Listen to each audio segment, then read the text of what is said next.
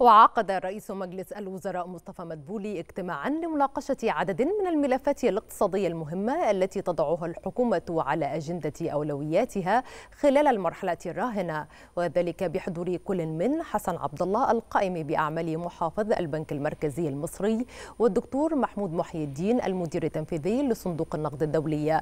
وخلال الاجتماع أكد مدبولي على أولويات الدولة خلال المرحلة الحالية والتي تتمثل في سرعة اتخاذ السياسات والإجراءات التي تضمن استقرار الأوضاع الاقتصادية والمالية للبلاد. والحد من الأثار السلبية لتلك الأوضاع العالمية على الاقتصاد الوطني بالتوازي مع عمل الحكومة على تعزيز جهود تنفيذ الإصلاحات الاقتصادية والهيكلية الضرورية.